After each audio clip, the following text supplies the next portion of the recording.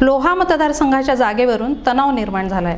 अशोक चव्हाण यांना लोकसभा निवडणुकीत पराभवाची धूळ चाखायला लावणारे खासदार प्रताप पाटील चिखलीकर यांचा हक्काचा मतदारसंघ शिवसेनेच्या वाटेला गेलाय. खासदार चिखलीकर यांचा मुलगा प्रवीण चिखलीकरसाठी हा मतदारसंघ भाजपाच्या वाट्याला सोडण्याबाबत चर्चा झाली होती. युतीच्या सूत्रानुसार नांदेड जिल्ह्यातील नऊ पैकी पाच जागा भाजपाकडे तर चार जागा शिवसेनेकडे याबाबत मुख्यमंत्र्यांच्या उपस्थितीत निर्णय झाला होता.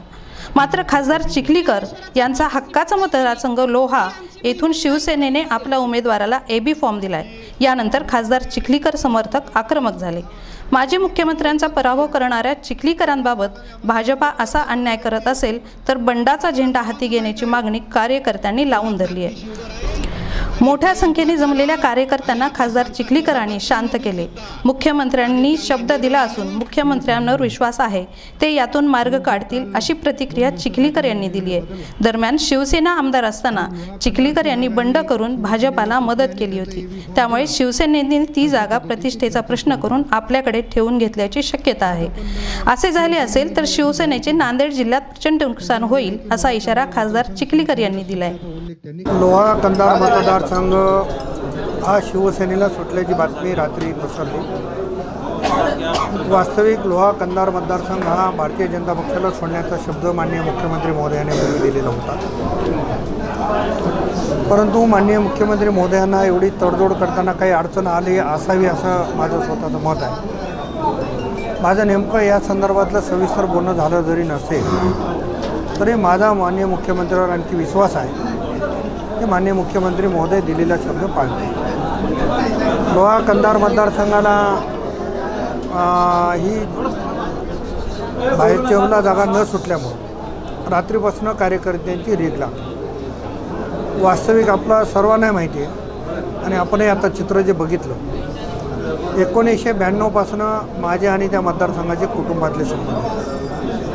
मी माझ्या आयुष्यामध्ये कधी जात बघितली नाही. जो ज्या जातीचा कार्यकर्ता माझ्यासोबत आहे ती ती जात माझी किंवा ते कुटुंब माझं समजून मी त्यांच्यासोबत काम केलं. आजपर्यंत मी ज्या ज्या पक्षामध्ये गेलो त्या मतदारसंघाने मला डोक्यावर घेतलं आणि माझ्यासोबत राहण्याचा निर्णय घेतला. आज कार्यकर्त्याची भावना आहे की काँग्रेसने सातत्यानं आपल्यावर अन्याय केला.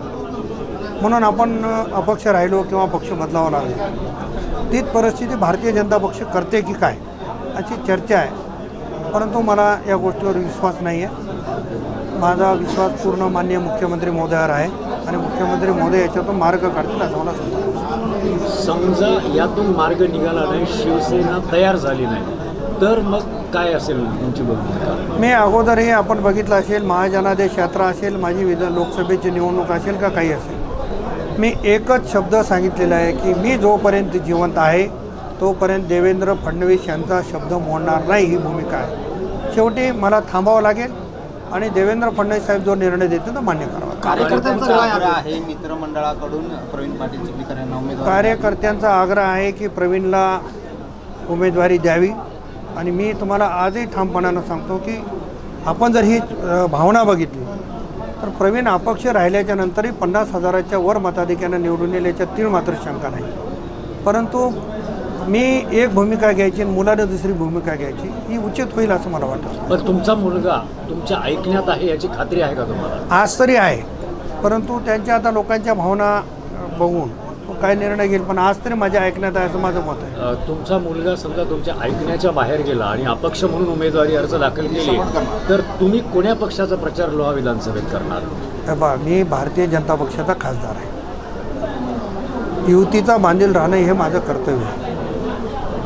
युतीचंच काम मला त्या ठिकाणी करावं लागेल. युती सोडून दुसऱ्याचं काम मला करता येणार नाही. तुमची जी मुलगी आहे त्यांना सुद्धा दक्षिण विधानसभेतून उमेदवारी मिळालीच पाहिजे असा कार्यकर्त्यांचा आग्रह दिसतोय. त्याबद्दल? असं काही मी एवढा मोठा माणूस नाही आहे की दोन दोन ठिकाणी माझ्या घरचे उमेदवार उभा राहू शकतील.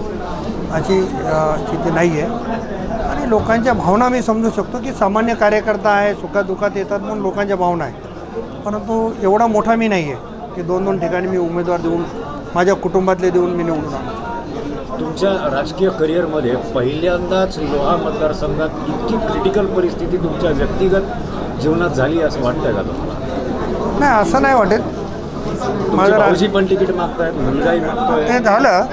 प्रत्येकाला एक गोष्ट अशी आहे की आज भारतीय जनता पक्षाची सुप्त लाट आहे. या मतदारसंघात माझ्या ती माझ्या कुटुंबातली तिघायची गोष्ट खरी आहे. पण आपण जर मतदारसंघाची आकडेवारी काढली नांदेडची कधी नावं एवढी. नांदेड उत्तरमध्ये पंधरा वीस जणांची मागणी आहे नांदेड दक्षिणमध्ये दहा बारा लोकांची मागणी आहे.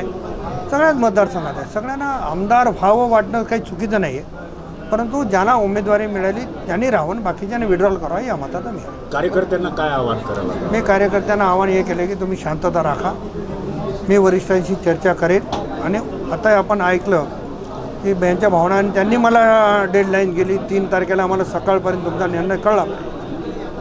आज उद्या शांत होतील आणि त्या पद्धतीने बोलू आपण म्हणलात की मुख्यमंत्र्यांनी शब्द दिला होता परंतु तो शब्द पाळला नाही. काहीतरी शल्य आहे का नाही नाही मनात छल्ले वगैरे नाही. त्यांना युती करताना काही अडचणी झाल्या असतील मी अगोदरही सांगेन. जावे ज्यांच्या वंशाकडे त्याला.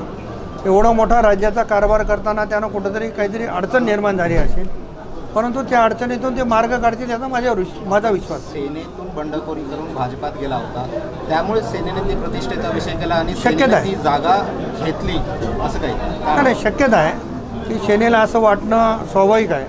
पण सेनेनं पण असं वाटून घेऊ नये.